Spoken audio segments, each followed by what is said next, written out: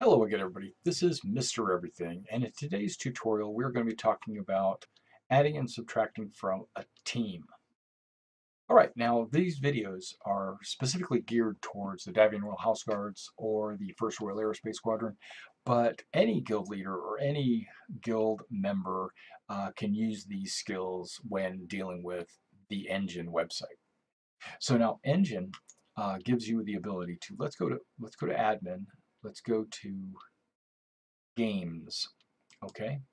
So what you're doing in games is you're assigning what games are being played on that website, basically. And I've picked for my Davion Royal House Guards the Mech Warrior Online game. Okay, now you can create teams. You also have users, but you can create teams, and I've done this. I've created two teams specifically the Regimental Headquarters Lance, and more importantly, the Training Platoon.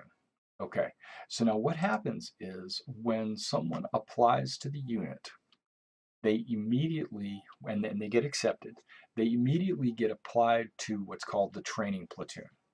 Uh, because in our unit, what we do is we put them through a short training class, uh, and then once they finish the training, they get moved from the training platoon into the actual battalion roster. Okay, and that is located somewhere else. But uh, it's simple. To create a team, you just click create team, you give it a name, and that's it, right?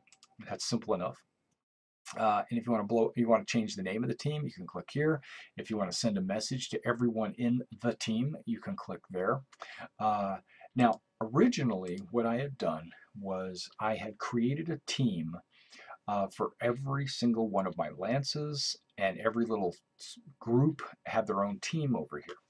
Uh, I found that was a little bit too hard to um, display on the website. I found it was easier to display members in groups using the tag system.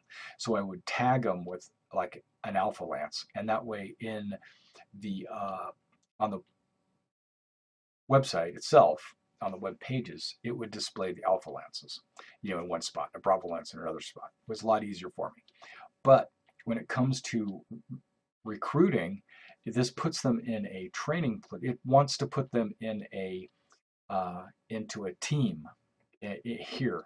And so what I've done is I've left the training platoon as a team so that um, they get they're here and it's easier for the trainers to find out who's exactly in the training platoon and who's not. So there's no need to really add anyone to the training platoon, but if you wanted to add someone to the training platoon, all you have to do is go add user right there. But the reason why I'm um, showing this video is because uh, our leaders need to know how to remove someone from the training platoon.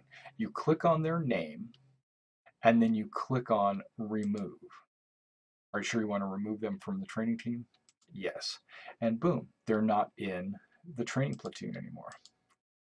Okay, so like when our trainers finish someone's training, one of the first things they should do is go to the website, right? They go to admin, they go to games because they have the privileges to do this, and then they go to teams, the training platoon, find who finished the training, and then click on remove and that way they're no longer in the training platoon. Other trainers don't are you know are aware that that guy's been completely removed from training and that he's finished his training. It's that simple.